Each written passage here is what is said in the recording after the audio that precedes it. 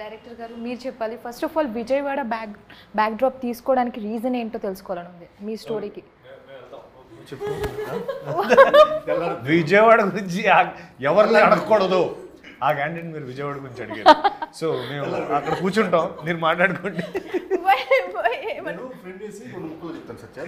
సరే.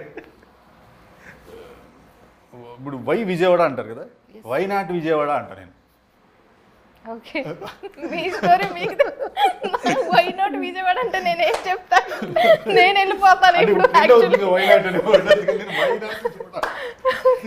నేను అన్న సెన్స్ మీకు అర్థమైందా?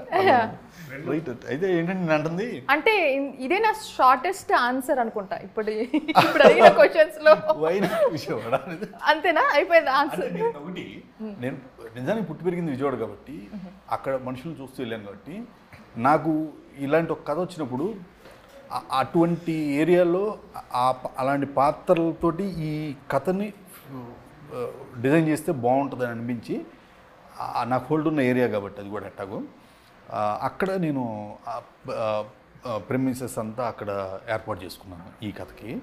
కానీ ఇది ఎక్కడైనా సరే ఏ ఊర్లో చేసినా సేమ్ అదే మాసు అదే ఉంటుంది.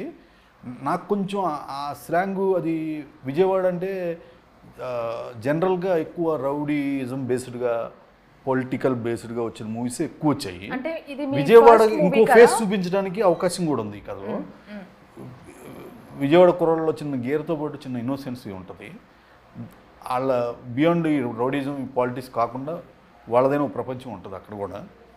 సో దాన్ని టచ్ చేస్తే కొత్తగా ఉంటుందేమో ఎక్స్ప్లోర్ చేయడానికి కూడా బాగుంటుందని నేను నాకు చిన్నప్పుడు పుట్టి పెరిగిన ఏరియా కాబట్టి ఆబ్వియస్లీ ఆ ప్రిన్సెస్ బాగుంటుంది కాబట్టి పెట్టుకున్నాను నేను. అలాగే అక్కడ అది ఇట్ విల్ ఇది అది ఎంత వర్కౌట్ అయిందనేది వీళ్ళకి తెలుసు ఇప్పుడు సినిమా చూశారు కాబట్టి అందరూ.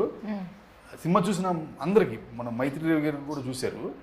ఆయనకి కానీ షో గారు చూశారు.